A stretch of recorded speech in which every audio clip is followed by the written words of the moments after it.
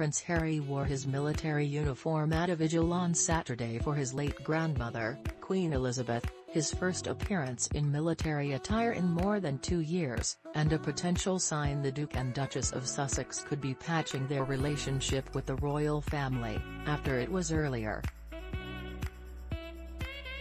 It comes more than two years after Harry and Markle announced their plans to step back as senior members of the royal family with an Instagram post in January 2020, saying they would divide their time between the United Kingdom and the United States, and become financially independent.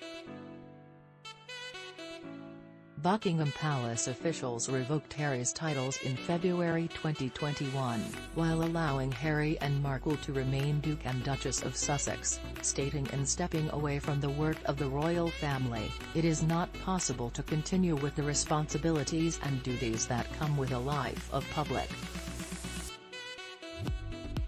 He has been living outside Santa Barbara, California, with Markle for the past two years, making occasional appearances with the royal family, but making more headlines for their joint ventures outside the monarchy.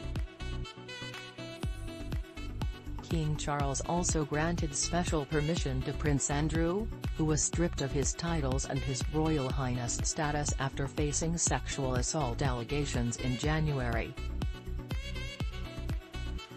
Prince Harry to wear military uniform at vigil for the Queen, The Guardian Princes William and Harry lead somber vigil by Queen's coffin, CNN William and Harry lead historic coffin vigil, BBC Queen Elizabeth's coffin leaves Scotland's Balmoral Castle, here's how she'll get to London, Forbes William Da.